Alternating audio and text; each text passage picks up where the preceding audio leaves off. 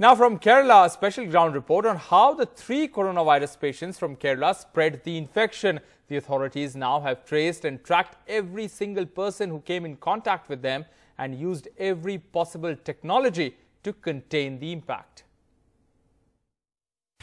The spread of coronavirus across the world is exponential. In Kerala, a family of three that did not reveal their travel history to Italy have infected at least eight people their loved ones in a span of just six days. NDTV has accessed a series of flowcharts and live maps prepared by the Kerala state to analyze and contain the spread of coronavirus and also for effective resource mobilization. This flowchart shows the exact date, time and location of travel of the family of three who did not reveal their travel to Italy. In a span of six days, they travelled to 17 locations in Kerala, infecting eight people as of now.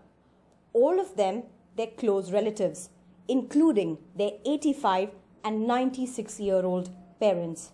All the uh, uh, positive cases are stable, but we have to think about that. Uh, uh, old aged people that uh, 85 year and 96 year. We are somewhat afraid uh, because uh, they have some old age problems etc and they are most vulnerable people you know. And we are uh, watching them eagerly and giving all support to save their lives. Around 900 people have already been traced as their contacts in 3 days. But the release of this flow chart for people took the tracking to another level in last 24 hours. Until today after 2 p.m., uh, we have got more than 16 numbers.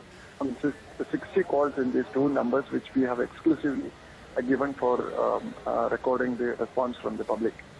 Majority of these calls are saying that they were uh, present at this location at the state and district level helplines, more trained staff are being regularly added due to the heavy influx of calls from across the world.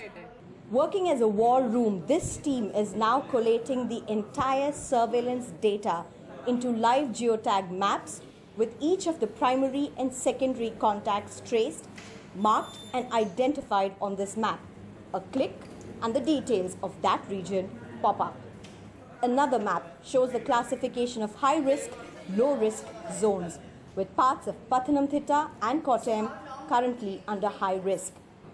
And also shows possible on ground clusters of coronavirus's possible expanse this heat map which uh, which shows the risk of each district. We can uh, see the uh, which are the high risk places which are the places where high concentration of uh, primary contacts are there where they are moving around. We have a highly robust surveillance team. So what we are doing here is with assistance of uh, kerala state disaster management authority we are using their GIS platform and plotting all of these hotspots the primary contacts secondary contacts onto the map so that we will know where exactly uh, the, the uh, infection is spreading. That is one activity. Second, we are also putting more layers like our uh, isolation ward layer, the lab uh, facility layer, as well as uh, you know other layers which help us in uh, decision making effectively. The only way to counter coronavirus is by beating it at its speed.